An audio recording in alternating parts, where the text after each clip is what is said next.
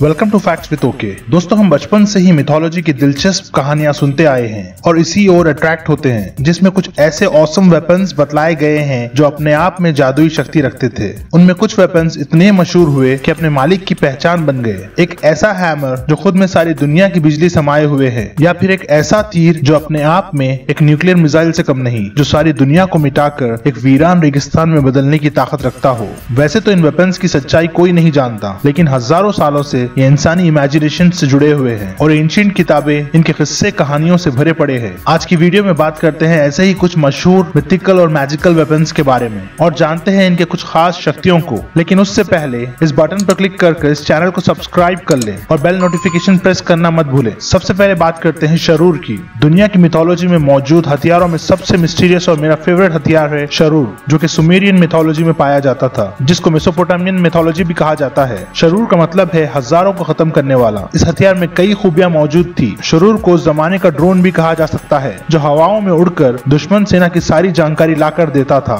इसके दूसरे शक्तियों में ये दुश्मन सेना के आसमानों में उड़कर उन पर आग और जहर की बारिश कर देता था, जिसके चलते हज़ारों की आर्मी पल भर में खत्म हो जाती थी। नेक्स्ट है ज्यूस थंडरबोल्ट ग्रीक मिथोलॉजी में थंडरबोल्ट ग्रीक गॉड ज्यूस का एक ऐसा हथियार था, जिससे न सिर्फ़ ज़मीन बल्कि आसमान भी दहल जाता था। यह हथियार ज्यूस का सबसे पसंदीदा हथियार था, जिसको साइक्लोप्स ने बनाकर ज्यूस को दिया था, जिसके ज़रिए ज्यूस ने मिथिकल क्रिएचर टाइफून को खत्म किया था। टाइफून एक बहुत ही खतरनाक मॉन्स्टर था, जिसके बहुत बड़े विंग्स थे और सांप की तरह दिखाई देने वाले सौसर जो आग उगलते थे। इतने खतरनाक पावर्स होने के बाद भी टाइफून जूस के थंडरबोल्ट के आगे टिक ना पाया और ज्यूस ने बहुत आसानी से थंडरबोल्ट मारकर टाइफून को खत्म कर डाला। ग्रीक मिथोलॉजी की बात हो तो ज्यूस के बाद आता है Poseidon trident of Poseidon Poseidon को ग्रीक मिथोलॉजी में गॉड ऑफ़ सी के नाम से जाना जाता है, जो ज्यूस का दूसरा भाई था। यह अपने गुस्से के लिए मशहूर था। जूस ने राजा बनने के बाद अपने पावर्स को अपने भाइयों में बांट डाला और पोसाइडन के हाथ आई समंदर की किंगडम ग्रीक मिथोलॉजी के हिसाब से वो समंदर पर राज करता था। अगर आप ग्रीक मिथोलॉजी से अनजान भी हो, तब भी आप समंदर के साथ त्रिशूल को जोड़ लेंगे, जो कि पोसाइडन का खास हथियार था। पोसाइडन अपने इस सिग्नेचर हथियार के बगैर इनकम्प्लीट था, जिसको हम त्रिशूल कहते हैं, जो बहुत ही पावरफुल जादुई हथियार माना जाता है, जिसको एक आँख वाले साइक्लोप्स ने बनाया था। साइक्लोप्स खुद एक मिथिकल क्रिएचर है। इसके बारे में किसी और दिन बात करते हैं। मिथोलॉजी के हिसाब से पोसाइडन अपने त्रिशूल के ज़रिए समंदर की गहराई में अर्थक्वेक्स लाकर समंदर में सुनामी ला सकता है। इसीलिए पोसाइडन को ग्रीक मिथोलॉजी में गॉड ऑफ़ अर्थक्वेक्स भी कहा जाता है। इस त्रिशूल से हटकर पोसाइडन की कई और पावर्स है,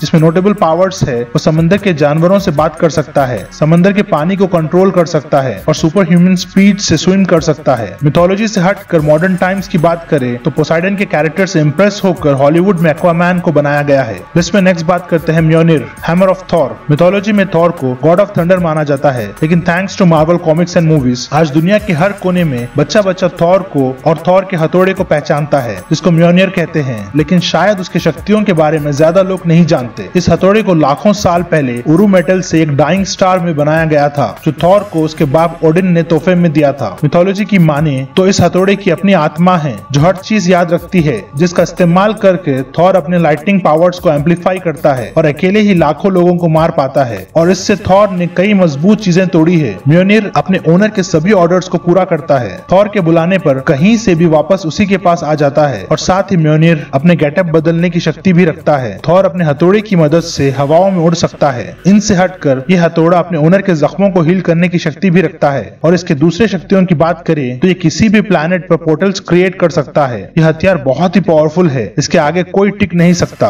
और न ही थॉर के सिवा कोई इस हथौड़े को उठा सकता है। ओडिन के कुछ जादुई मंत्रों की वजह से म्योनियर को सिर्फ़ वो ही लोग उठा सकते हैं जो इसके काबिल हो। इसमें कोई शक नहीं कि म्योनियर मिथोलॉजी में सबसे ताकतवर हथियार है, जिसका एक अटैक भी बड़े से बड़े मॉन्स्टर्स को खत्म करने के लिए काफ़ी है।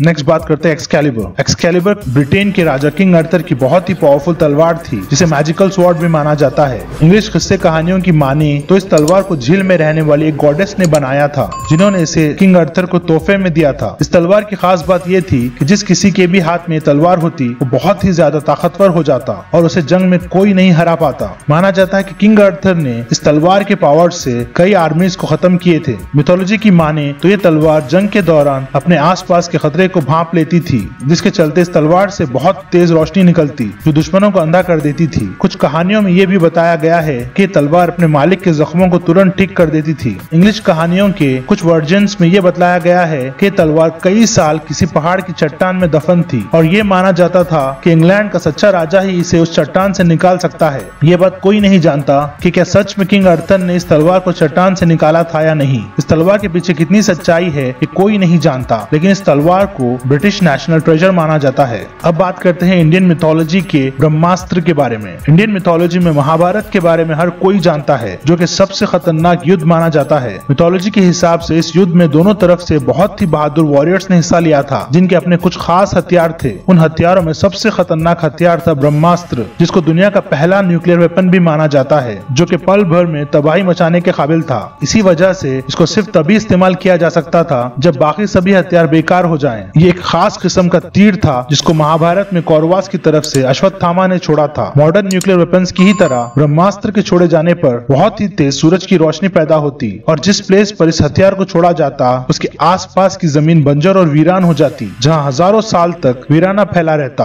आज के जमाने के न्यूक्लियर वेपन्स में और ब्रह्मास्त्र में बहुत सिमिलैरिटीज है। कई लोगों का ये मानना है कि रामायण में एक ब्रह्मास्त्र छोड़ा गया था राजस्थान की ओर, जिसके चलते थार रेगिस्तान फॉर्म हुआ, जहाँ आज तक वीरान रेगिस्तान मौजूद है। ब्रह्मास्त्र के बारे में आपको क्या लगता है? अपनी राय कमेंट्स में ज़रूर बताएँ। दोस्तों, आप देख सकते हैं इंटरेस्टिंग वीडियोस अपने एंड स्क्रीन पर। अगर आपको ये वीडियो पसंद आए तो इस चैनल को सब्सक्राइब करके लाइक्स और कमेंट्स करना मत भूले। और हो सके तो अपने फ्रेंड्स के साथ शेयर करें, ताकि उन्हें भी हमारे चैनल के बारे में पता चले और कमेंट्स में अपने सजेशन ज़रूर बताएँ। मिलते हैं अगले टॉपिक के साथ। Till then stay safe